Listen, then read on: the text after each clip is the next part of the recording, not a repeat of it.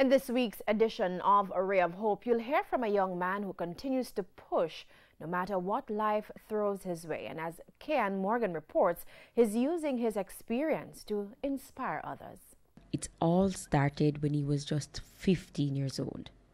Lamar Nicholson's life took a turn for the worse after he suddenly fell ill at school one day. So we went to Spanish Town Hospital, we went, you know, private doctors, and after six long months, I finally got a diagnosis, and that diagnosis was Crohn's disease. Crohn's disease causes inflammation of the digestive tract.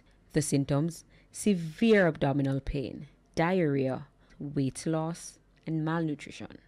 But these challenges are just a drop in the bucket to what Lamar had to deal with for the past 14 years.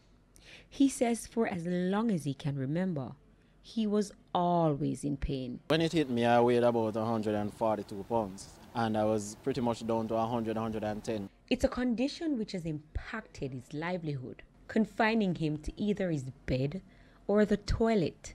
It has also robbed him of the enjoyment of his youth and even impacted his education. I would have spent three years in sixth form after my first year at UWI um, in which I almost dropped out. I was about two percentage points away from dropping out. I started my second year and had spent three weeks um, going to school and then I had to drop out.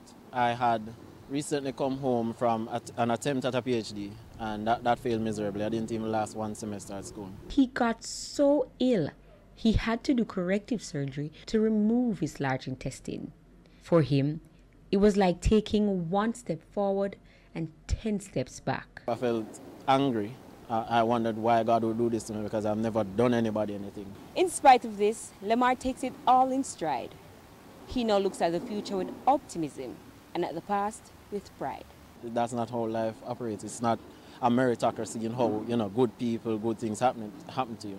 And I'm coming to believe that it's a good reason that this happened to me because I, for some reason, I've, I was blessed with the strength to get through it. In search for mental reprieve during one of his lowest moments, Lamar decided to document his journey in a book called The Limit Does Not Exist.